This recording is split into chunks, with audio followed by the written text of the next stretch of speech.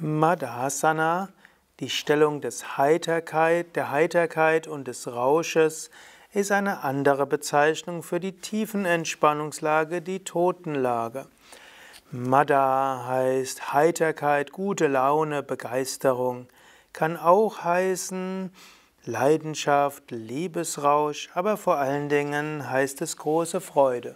Krishna heißt zum Beispiel auch Madana, Mohan, und äh, der Liebesgott heißt auch Madana allein. Also Freude und Heiterkeit.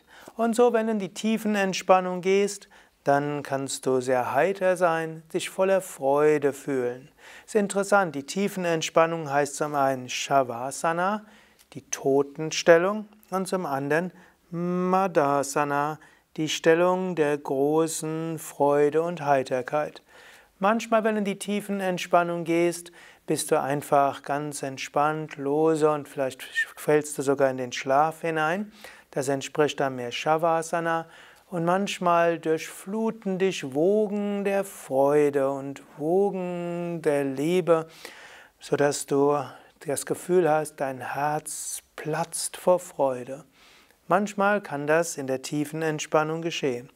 Wenn du mehr wissen willst über die tiefen Entspannung, dann gehe auf unsere Internetseite yoga-vidya.de und gib ins Suchfeld ein Tiefenentspannung oder Shavasana. Dort erfährst du mehr darüber.